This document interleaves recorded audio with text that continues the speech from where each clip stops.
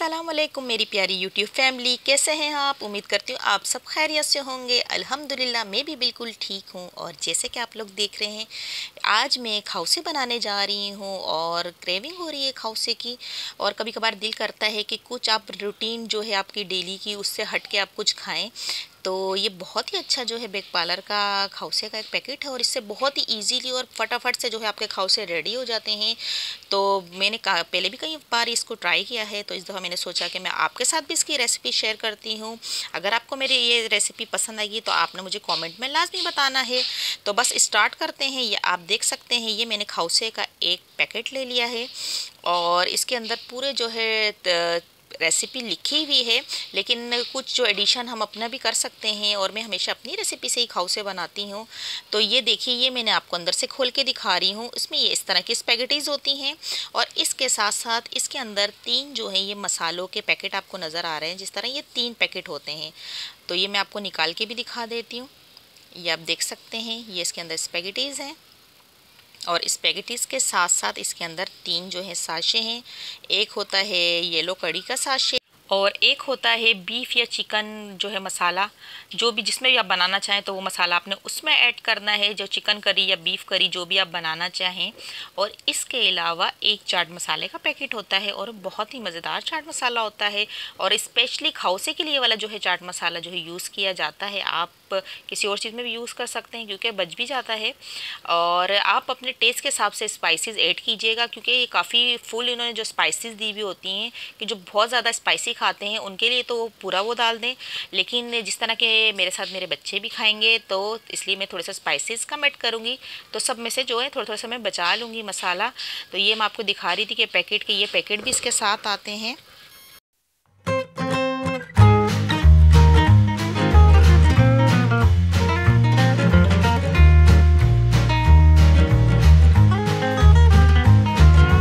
सबसे पहले आप स्पेगेटीज़ को बॉईल करने के लिए रख दें। इसमें एक चम्मच नमक और एक चम्मच ऑयल डाला है मैंने। और अब मैं जो हूँ कड़ी का जो सामान है वो तैयार कर लेती हूँ। ये कोकोनट मिल्क पाउडर है, ये रोज़ का मैंने लिया है। और आप कोकोनट क्रीम भी इसमें यूज़ कर सकते हैं, कोकोनट मिल्क भी इसमें यूज़ कर सकते हैं, जो भी आपके पास अवेलेबल हो। और ये तकरीबन मैंने एक पाव दही ले लिया है और इसके साथ साथ जो है मैं हसब ज़रूरत तीन से चार टेबल स्पून इसके अंदर बेसन ऐड करूँगी। और ये करी का जो मसाला पाउडर साथ आया है, जो मैंने बेक पार्लर का लिया है पैकेट, उसमें साथ आया है ये कड़ी का साशे तो ये भी मैंने ले लिया है। तो बस इससे मैं जो है कड़ी रेडी कर लेती हूँ। इन सबको एक जगह आपको मिक्स कर लेना है। आपको दही के अंदर बेसन को मिक्स करके तीन से चार टेबल स्पून बेसन लेके उसमें मिक्स करके और दो टेबल स्पून कोकोनट पाउडर आपने ऐड कर देना है और करी मसाला अपने टेस्ट के हिसाब से ऐड करके अच्छी तरह से आपने उसके मिक्स करके उसमें आपने तीन से चार गिलास पानी डाल के कड़ी को बनने के लिए रख देना है और अब जो है मैं वो चिकन कड़ी रेडी कर रही हूँ। चिकन ग्रेवी बनाने के लिए आपको सबसे पहले जो है दो मीडियम साइज़ की प्याज ले लेनी है और इसको आपको इस तरह हल्का हल्का सा गुलाबी या लाइट ब्राउन कर लेना है और उसके बाद इसमें मैंने जो है एक टेबल स्पून जो है वो भर के मैंने लहसुन अदरक का पेस्ट शामिल किया है और इसके बाद जो है इसमें मैं आधा किलो चिकन का कीमा यूज़ कर रही हूँ। आप चाहें तो चिकन की छोटी छोटी बोटियाँ भी ले सकते हैं, बोनलेस चिकन लेनी है आपने। अगर आप बीफ में बनाना चाहते हैं तो आप बीफ भी ले सकते हैं, मटन में बनाना चाहें यह आपकी चॉइस पे है। तो हम ज़्यादा चिकन में शौक से खाते हैं तो इसलिए मैंने चिकन लिया है और इसको अच्छी तरह से हमने भूनना है। और जब ये भुन जाएगा हमारा मसाला तो इसमें हम टमाटर ऐड करेंगे और जो पैकेट के साथ जो चिकन या मीट का जो मसाला आया था, वो हम अपने टेस्ट के हिसाब से इसमें ऐड करेंगे।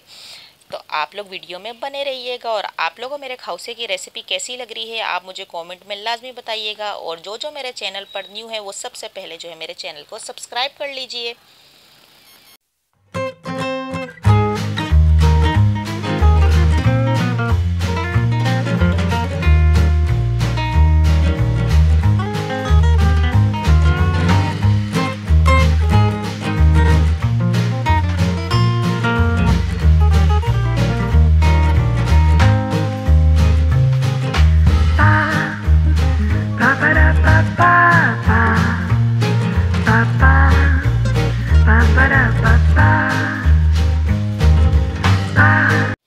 ये देखिए, हमारे जो है चिकन बिल्कुल रेडी हो गया है और ये आपके ऊपर है कि आप इसको जितना भी गाढ़ा रखना चाहें, इसकी जो सॉस है अगर आपको ज़्यादा सॉसी चाहिए तो आप इसमें टमाटर का पेस्ट भी शामिल कर सकते हैं थोड़ी सी टमाटो कैचअप वगैरह भी ऐड कर सकते हैं।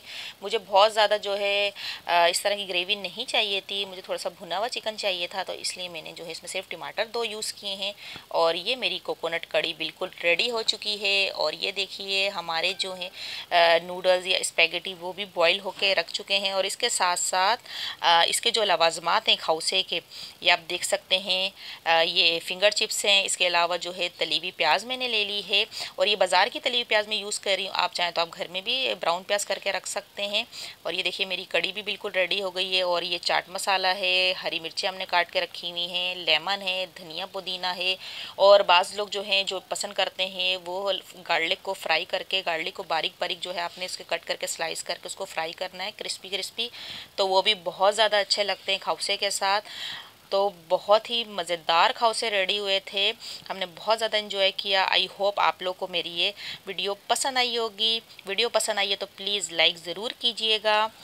और मुझे अपना इसी तरह से आप प्यार और सपोर्ट देते रहिए। मुझे आपकी दुआओं की बहुत ज़्यादा ज़रूरत है, आपके सपोर्ट की बहुत ज़्यादा ज़रूरत है।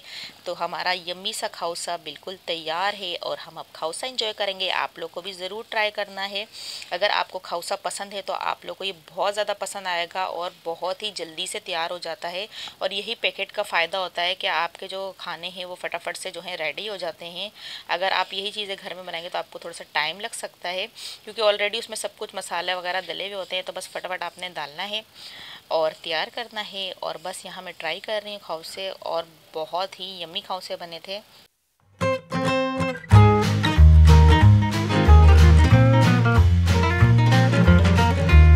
ओके व्यूवर्स नेक्स्ट वीडियो के साथ मिलूँगी। अल्लाह हाफिज़।